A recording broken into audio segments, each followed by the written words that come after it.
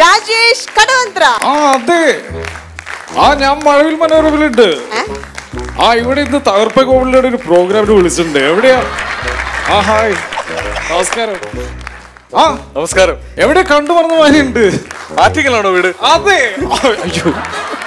നമസ്കാരം. നമസ്കാരം. നമസ്കാരം. അയ്യോ എനിക്കിവിടെ വരാൻ പറ്റിയ ഭയങ്കര സന്തോഷമുണ്ട്. ആ പക്രുച്ചേട്ടാ. ഹായ്. ഞങ്ങൾ സിനിമ തുടങ്ങിയത് ഒരുമിച്ചാണ്. ഋതു എന്ന സിനിമയില്ലേ? അതിലാണ് ഞങ്ങൾ ഒരുമിച്ച് അഭിനയിച്ചു തുടങ്ങുന്നത് നീ? മറന്നോ മറന്നുപോയോ?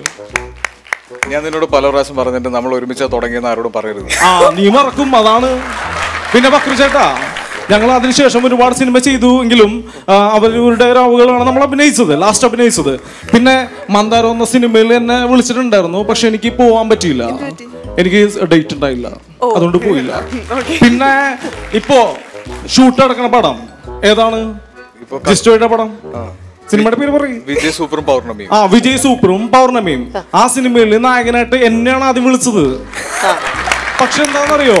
ചേട്ടാ അതിന്റെ ഒരു പ്രശ്നം എന്ന് വെച്ചിട്ടുണ്ടെങ്കിൽ ഈ പേരായിരുന്നില്ല അതിന്. വിജയ് സൂപ്പറും പൗർണമി എന്നായിരുന്നില്ല എന്റെ പേര്. വിനയ് ഫോർട്ടും പൗർണമി. വിനയ് ഫോർട്ടും സൗബർണി എന്നായിരുന്നു എന്റെ പേര്.